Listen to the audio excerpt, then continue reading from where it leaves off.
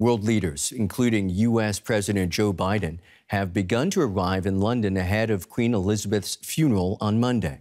Thousands of mourners have been queuing in central London for a fourth straight day, hoping to see the coffin of the late monarch. Thousands continue to patiently wait in a kilometres long queue for a chance to glimpse the coffin of Queen Elizabeth II as she lies in state at Parliament's Westminster Hall in central London. Some mourners were treated to an unscheduled walkabout by King Charles and his son William, who came out to thank those who had been queuing overnight for several hours coming all this way from Birmingham just to pay our respects and do the honourable thing. But just meeting the King himself and the Prince has just made the whole worthwhile getting down here. On Saturday, William joined his brother Harry and their cousins to stand vigil by their grandmother's coffin. Prince Harry, who is no longer working royal, was allowed to wear a military uniform at the king's request. Like their parents the day before, the eight cousins stood vigil for 15 minutes as mourners continued to quietly file by. I can't describe it. It was just nothing obviously ever experienced before. And yeah it was just so poignant so emotional. Um, and we were very lucky enough to see all the grandchildren there as well. So um, but yeah a real moment in time. King Charles III is meeting with Commonwealth leaders at Buckingham Palace.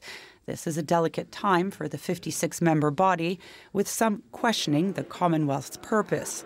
Last year, Barbados became the world's newest republic after it officially removed the Queen as its head of state. Charles will be counting on his whole family to keep the Commonwealth family of nations intact. More heads of state, including U.S. President Joe Biden, are arriving in time for Queen Elizabeth's state funeral on Monday.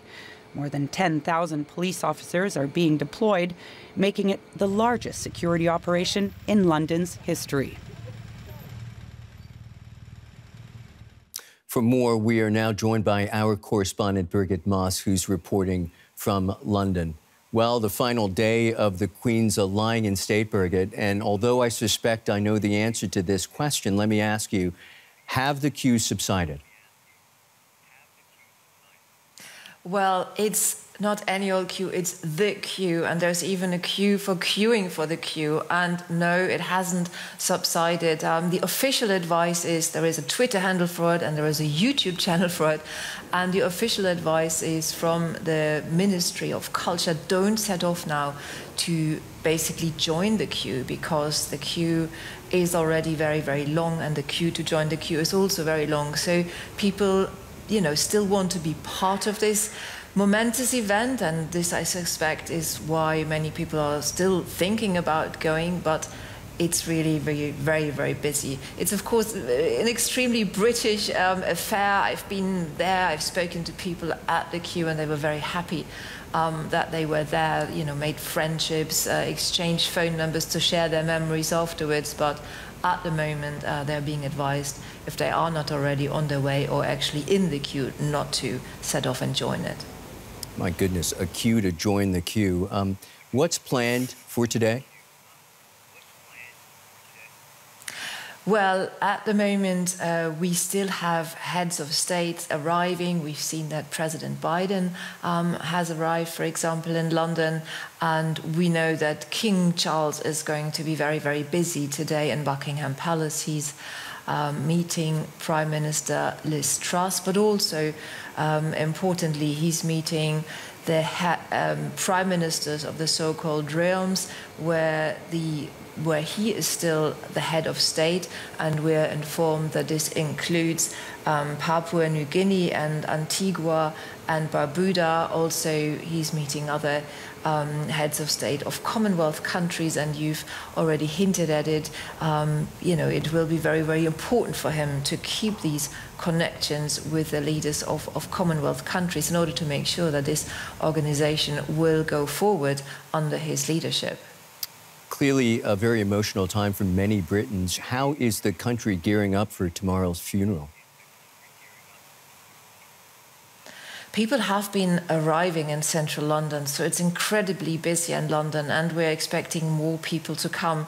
So people have been camping overnight near Buckingham Palace. They want to get basically front seats uh, at the processions tomorrow, and they want to be there and see it with their own eyes and not just on one of these many many screens and Hmm. security forces are in basically in overdrive. They police are coming from all across the country to make sure that this huge security operation is going well at this massive event on Monday in London.